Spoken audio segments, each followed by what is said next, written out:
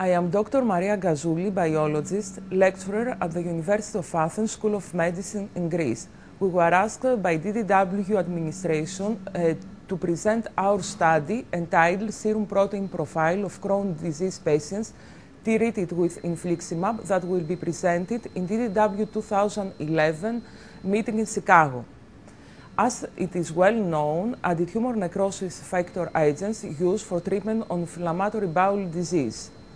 Despite the intense uh, research in this area, limited data exist on factors uh, predicting the infliximab uh, response to therapy of Crohn's disease patients. Recent evidence suggests that proteomic uh, analysis could be a useful uh, tool that offer biomarkers that can be used for diagnosis of Crohn's disease. This is an important issue because a significant proportion of patients are primary non-responders to infliximab therapy or lose their uh, response to treatment during infliximab induction.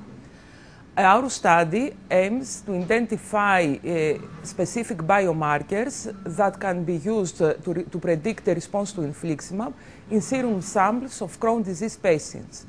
From this uh, reason, we select patients that were classified as complete responders primary non-responders or partial responders. The, uh, the sample uh, of the patients as well as the clinicopathological data were collected at Evangelismos uh, Hospital by, professor, by Dr. Gerasimos uh, Mantzaris.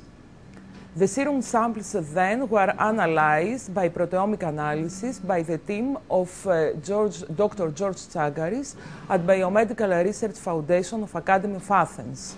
Serum samples obtained at baseline and uh, at 12 weeks were subjected to proteomic analysis.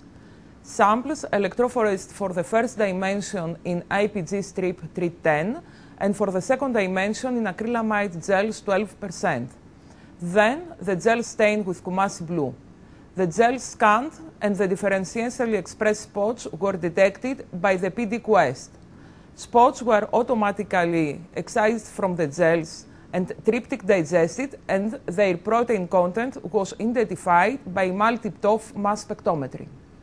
The data disclosed that infliximab changed the serum protein profile of Crohn's disease patients.